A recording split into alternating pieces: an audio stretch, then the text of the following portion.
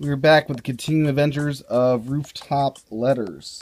This time with Zach. This is Tomodachi Life, and this is just one of the weird parts of the game.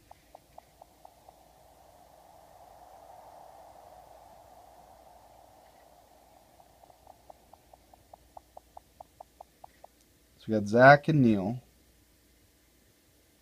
Here's a map to find that thing I hid.